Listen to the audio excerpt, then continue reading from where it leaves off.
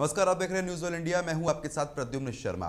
Special report की शुरुआत करेंगे। भारत के गृह मंत्रालय ने जम्मू कश्मीर से विशेष राज्य का दर्जा हटाए जाने के बाद वहाँ के आतंकी घटनाओं पर आंकड़े जारी किए हैं। गृह मंत्रालय का कहना है कि 2019 के मुकाबले 2020 में आतंकी घटनाएँ कम हुई हैं। 5 अगस्त 2019 को केंद्र सरकार ने जम्मू कश्मीर को विशेष राज्य का दर्जा देने वाले अनुच्छेद 370 और अनुच्छेद 35 ए को खत्म कर दिया था। सरकार ने अनुच्छेद 370 को खत्म करने के साथ जम्मू कश्मीर को दो केंद्र शासित प्रदेशों, जम्मू कश्मीर और लद्दाख में बांट दिया था। सरकार का कहना था कि राज्य में विकास और वहाँ अमन बहाली के लिए ऐसा किया गया है। सरकार के फैसले के पहले ही विपक्ष के कई बड़े नेता हिरासत में ले लिए गए थे और उन्हें कई महीनों तक बाहर जाने की आज़ादी नहीं दी गई थी। इसी के साथ जम्मू कश्मीर में इंटरनेट स्पीड को सीमित कर दिया गया था। प्रदेश में आज भी मोबाइल इंटरनेट पर फोर स्पीड उपलब्ध नहीं है। जम्मू कश्मीर के लोगों को अपने ज़रूरी कामकाज टू स्पीड के सारे ही करने पड़ते हैं। फिर चाहे स्कूल की शिक्षा हो प्रवेश परीक्षा की तैयारी या मेडिकल से जुड़ी इमरजेंसी। गृह मंत्रालय ने दावा किया था कि अनुच्छेद 370 हटाए जाने के बाद जम्मू कश्मीर में आतंकी वारदात में भारी कमी आई है। मंत्रालय के आंकड़ों के मुताबिक 370 हटने के बाद जम्मू कश्मीर में आतंकी घटनाएँ कम हुई हैं। 2019 के मुकाबले 2020 में आतंकी घटनाओं में तिरसठ फ़ीसदी की कमी देखी गई है।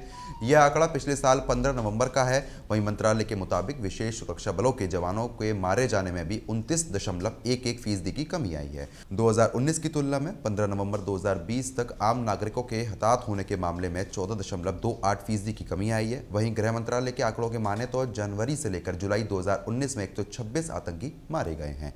वहीं साल 2020 में इस अवधि में 136 आतंकी मारे गए हैं। ग्रेनेड हमले की बात की जाए तो साल 2019 में इक्यावन हुए हैं और 2020 में 21 हुए हैं। रिपोर्ट में यह भी कहा गया है कि पिछले एक साल के दौरान युवाओं का आतंकी गुटों में शामिल होना महत्वपूर्ण ढंग से कम हुआ है।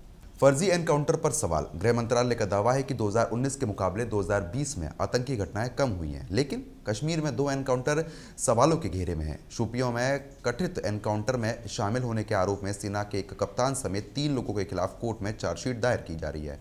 मामला 18 जुलाई 2020 का है, जहाँ अमशीपुर मुठभेड़ में तीन मजदूरों की एनकाउंटर में मौत हुई थी। परिवार ने उन्हें बेकसूर बताया था और कहा था कि वो मजदूर हैं। सेना ने भी माना था कि आरोपियों ने अपनी शक्तियों का गलत इस्तेमाल किया था। वहीं दूसरी ओर 29 से 30 दिसंबर 2020 को हुई एक मुठभेड़ संदेह में है। श्रीनगर में हुई इस मुठभेड़ में तीन युवक मारे गए थे। परिवार के सदस्यों का दावा है कि मारे गए युवक आतंकवादी नहीं थे।